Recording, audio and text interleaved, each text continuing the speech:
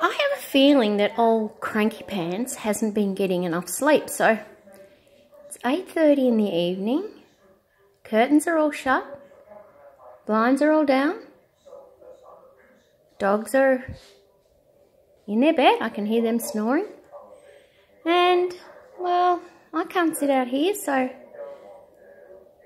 um, I'll put myself into this little room and yeah, as long as Cranky Pants gets some sleep, then I'll be happy. Oh. So your profile sort of matches in with the reef.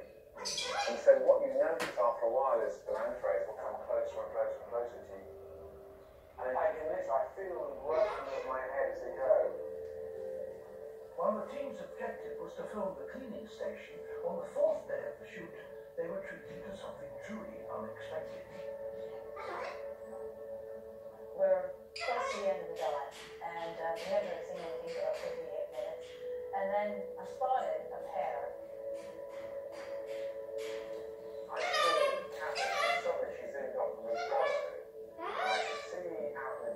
was a nail above the Listen to her.